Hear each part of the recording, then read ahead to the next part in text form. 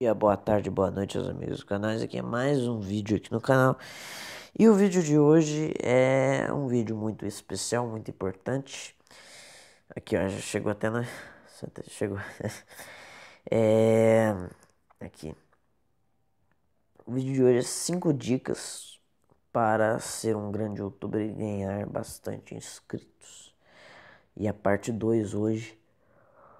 Como bateu a meta que eu pedi de likes, 15 likes, eu tô fazendo a parte 2.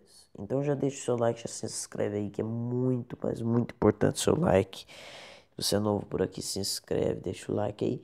Eu vou ensinar, na maioria das vezes, as fórmulas que funcionam com outras pessoas e as fórmulas que funcionam comigo, que me ajudam a chegar a esse número aqui de 131 inscritos. Primeiro eu queria agradecer os 131, beleza?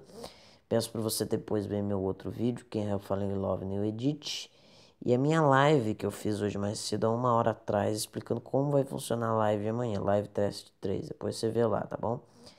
Primeiro eu queria começar com uma dica que eu tinha dado na parte 1, só que na hora ficou mudo. Deu erro no gravador, não sei o que aconteceu, ficou mudo. A dica que eu tinha dado naquela hora era para você criar vídeos atemporais. Como assim, Lorenzo? Vídeos, vamos lá no meu Analytics, vídeos que dão visualização independente do tempo que ele foi postado. Por exemplo, opa,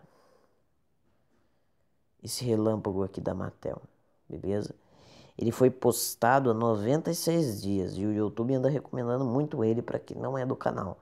Eu tava com 250 views nesses últimos dias e agora ele tá com 307. O YouTube anda recomendando muito. Você tem que criar vídeos atemporais. Tem que criar vídeos que, independente da data, dão views. Esse vídeo aqui eu postei em dezembro, para você ter uma ideia. Esse vídeo aqui, Pastor Bob Joyce, Draw Me Near. Olha, postei há 70 dias atrás, lá em janeiro. 306 visualizações. Tá no meu primeiro dos vídeos mais acessados aqui no canal. Então você tem que criar aí uma tática de vídeos que vão fazer sucesso independente do tempo que eles têm, beleza? Independente do tempo que eles têm. Esse, essa foi a minha dica que não deu para escutar no vídeo, beleza?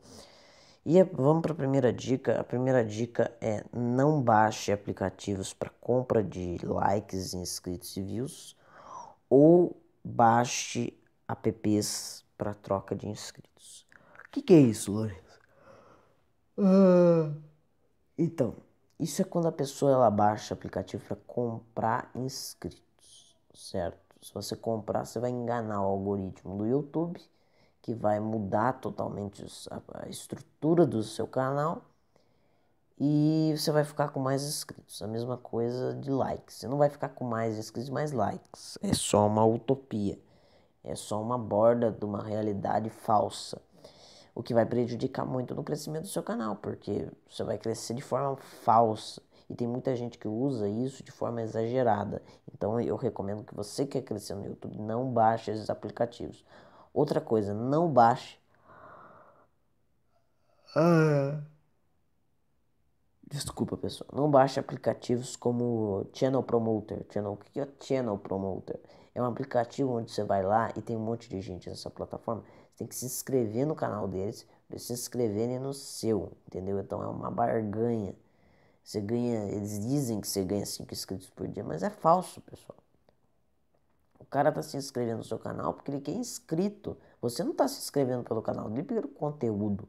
Você está se inscrevendo porque você também quer inscrito.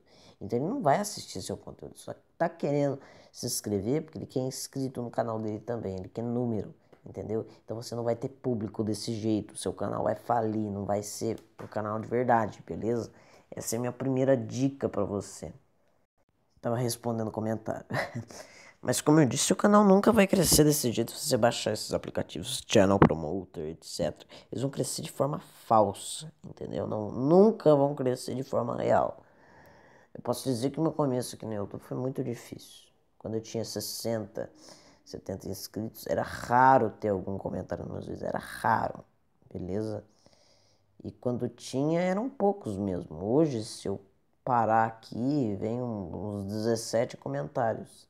Eu agradeço muito a todos vocês, beleza? A minha próxima dica, a segunda dica, é sobre monetização. É, Lorenzo, como que a gente mexe com o negócio de. Como que a gente sabe que, eu, que a gente está com 4 mil horas de, de exibição? Como que a gente vai ver isso? Então, a gente vai vir aqui em tempo de exibição, em horas. Aqui, ó, eu tô com 62 horas e 5 nos últimos um mês. Eu tenho que pegar aqui na parte todo o período e vai mostrar quantas visualizações você teve em todo o período. Ó, eu tô com 214 visualizações, 214 horas em todo o período do meu canal. Então, quais alternativas que eu tenho? Tenho alternativa de ou criar mais conteúdo para os meus inscritos assistirem, ou fazer um conteúdo mais interessante e o YouTube me recomendar mais, para me chegar mais perto a esse número, beleza? Então é aqui que você vê o seu tempo de exibição. Agora vamos para a terceira dica. Lorenzo, como que eu como que eu consigo monetização? Primeiro, se você quer monetizar, você tem que obedecer aos critérios do YouTube. O YouTube ele propõe critérios para monetização de que você não faça vídeos com direito autoral que não seja seu, beleza? Mas vamos supor, se você posta esses vídeos, que nem eu, eu posto, você também pode postar vídeos que são conteúdo próprio. Você quer ser monetizado e mesmo assim postar vídeos que você gosta, entendeu? Então, se você quer ser monetizado e postar vídeos que você gosta, poste vídeos também de você falando, de você se especificando sem música, sem nada, para você ser monetizado no futuro, se você quiser isso, beleza? E então, como eu ensinei aqui, você vai lá em visão geral, no Analytics, se você precisa ter o aplicativo do, do YouTube Studio, vem aqui e procura todo o período. Eu tenho mais de 200 horas aí. E segundo, seu canal tem que ter mil inscritos para ser qualificado. 4 mil horas e mil inscritos. E ter vídeos que não tenham direito autoral. E o YouTube só vai pegar os vídeos que não têm direito autoral e monetizar. Os outros que tem, ele não vai monetizar, beleza? Agora, se você quer ter um canal só com vídeo não monetizado, você não vai monetizar nunca, beleza? Então, se você quer monetizar, você tem que colocar um conteúdo próprio também, com a sua voz, com o seu jeito. Sem muito dessas coisas. Quarto.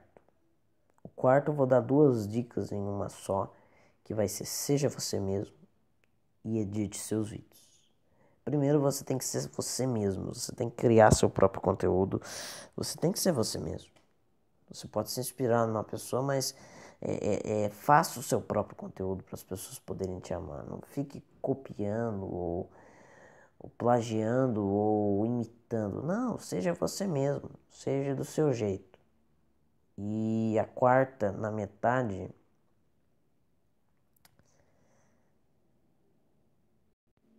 edite seus vídeos. A coisa mais importante que você pode fazer no canal é editar seus vídeos, deixar seus vídeos bonitinhos para os seus inscritos. Que nem esse vídeo que eu fiz Quem Help Falando Love é um exemplo. Eu achei o áudio dele muito ruim, o áudio original, uma qualidade muito ruim, né, que eu peguei. E daí eu mutei, peguei o áudio remasterizado e coloquei no vídeo com a canção. E eu também tive que completar com outras imagens, coloquei.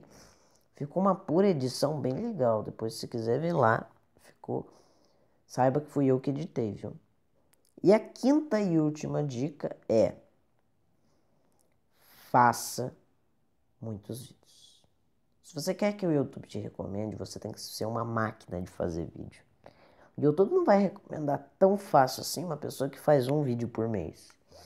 Ele pode até recomendar, mas ele não vai recomendar para bastante pessoa, beleza? Se você fizer um vídeo por mês ou um vídeo por semana, ele vai te recomendar menos, entendeu? Porque o YouTube ele tem uma coisa. É, ele vai recomendar para as pessoas é, coisas que elas gostam com canais relacionados com o que elas gostam. Se o seu canal for, que nem o meu de reviews, ele vai recomendar você para pessoas que gostam de reviews, beleza?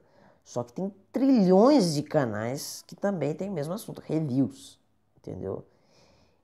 Então você tem que ser rápido, tem que postar bastante vídeo, sobre o seu, seu assunto ou os seus assuntos, porque tem um monte de canal também na fila de espera. Se você postar vídeo uma vez por mês, os outros canais vão te. O YouTube vai recomendar primeiro e você sempre vai ficar por último e vai prejudicar muito os seus inscritos, etc, etc. Por isso que eu posto 10 vídeos por dia, 10, 8 vídeos por dia o YouTube me recomenda bastante para todo tipo de gente. O YouTube me recomenda para quem gosta de reviews, o YouTube me recomenda para quem gosta de Elvis Presley, o YouTube me recomenda para quem assiste React. Então o YouTube me recomenda para bastante gente, além das, dos mecanismos de pesquisa que o YouTube me recomenda, beleza?